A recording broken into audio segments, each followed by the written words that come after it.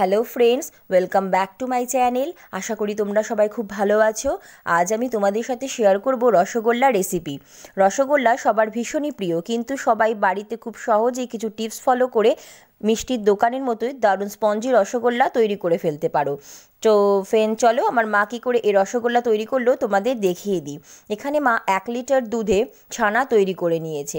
লেবুর রস দিয়ে কী করে বাড়িতে খুব সহজে পারফেক্ট ছানা তৈরি করা যায়, আমি তোমাদের সাথে অলরেডি আগে শেয়ার করেছি। তোমরা চাইলে ভিডিওটি দেখে নিতে পারো, আমি ডিসক্রিপশান বক্সে লিঙ্কটা শেয়ার করে দেবো।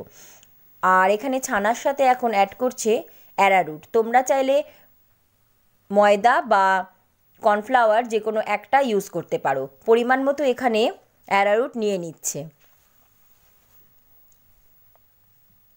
তারপর এখানে অ্যাড করছে বেকিং পাউডার রসগোল্লা তৈরি করার জন্য বাড়িতে থাকা কিছু উপকরণ দিয়ে খুব সুন্দর পারফেক্ট রসগোল্লা তৈরি করা যায়। তোমরা এই টিপসটা যদি ফলো করো কি করে করছে মা, তাতে খুব ভালো করেই পারফেক্ট রসগোল্লা বাড়িতেই তৈরি করতে পারবে। দেখো এখন খুব ভালো করে হাত দিয়ে চটকে নিয়ে ছানাটা মেখে নিচ্ছে। অনেকেই বলে যে রসগোল্লা তৈরি করতে গেলে রসগোল্লা মানে শিরায় দিলে বলটা ফেটে যাচ্ছে। তো এই ছানাটা পারফেক্টভাবে যদি না মাখা হয় তো তখনই রসগোল্লাটা ফেটে যাবে। দেখো এখন হাত দিয়ে, আঙুল দিয়ে ডলে ডলে নিয়ে মেখে নিচ্ছে। তারপরে হাতের তালু দিয়ে, হালকা হাতে প্রেশার দিয়ে দিয়ে খুব ভালো করে সফটভাবে স্মুথভাবে এই ছানাটা মাখতে হবে। একটু টাইম নিয়ে এটা মাখতে হবে। মোটামুটি পনেরো থেকে কুড়ি মিনিট মাখতে হবে। আমরা যেরকম আটা বা ময়দাটা সফটভাবে মাখি, ঠিক সেইভাবেই মাখতে হবে। একটা স্মুথ সফট ডো মতো তৈরি হবে। এতেই পারফেক্ট রসগোল্লা তৈরি হবে। দেখো, হাতে তালু দিয়ে খুব ভালো করে ছানাটা মেখে নেওয়া হচ্ছে। আর আমরা যখন রসগোল্লা তৈরির ছানাটা ইউজ করব, সেই ছানাটা খুব ভালো করে জল ঝরিয়ে ইউজ করব। নইলে রসগোল্লা পারফেক্ট হবে না। দেখো কত সুন্দর ছানাটা মাখা হয়েছে, হাতেও লেগে যাচ্ছে না, আবার যেই থালাটা ইউজ করা হয়েছে সেই থালায়ও লেগে যাচ্ছে না। এখন এই ছানা থেকে বল তৈরি করে নেওয়া হবে। বলগুলো কত পারফেক্ট হয়েছে দেখো। কোনো রকম ছিদ্র নেই বা বলগুলো ফেটে যাচ্ছে না। বলে কোনো রকম ছিদ্র থাকলেও তাহলে সেই রসগোল্লা ফেটে যাবে। এখন এইভাবে একে একে সব বলগুলো তৈরি করে নেওয়া হবে। বলগুলো একটু ছোট সাইজের হবে, কারণ এটা শিরায় দিলেই ফুলে ডবল হয়ে যাবে।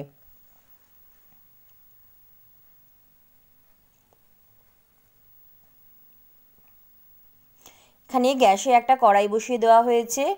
আর এখানে এখন চিনি দেওয়া হচ্ছে।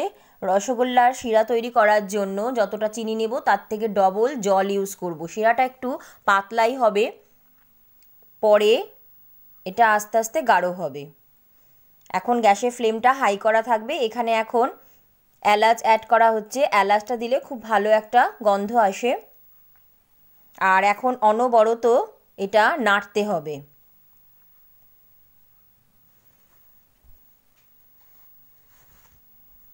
গ্যাসের ফ্লেম হাই করাই থাকবে।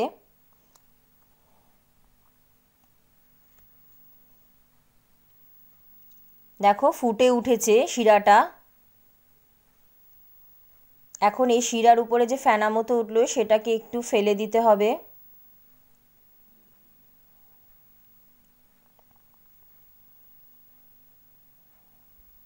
আর এরকম ফুটন্ত অবস্থাতেই একটা একটা করে ছানার বলগুলো দিয়ে দিতে হবে।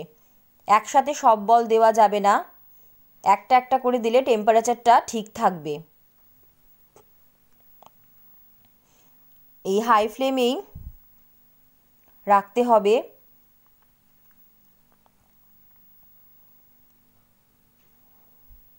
সব বলগুলো দেওয়া হয়ে গেছে। এখন একটু হালকা হাতে একটু নাড়িয়ে নেওয়া হলো। এক পাশ হয়ে গেলে আর এক পাশও উল্টে দেওয়া হবে যাতে দুপাশ খুব ভালো মতোই হয়ে যায়। মোটামুটি পাঁচ মিনিটের মধ্যে হয়ে যায়। দেখো কত সুন্দর ফুলে উঠেছে রসগোল্লাগুলো।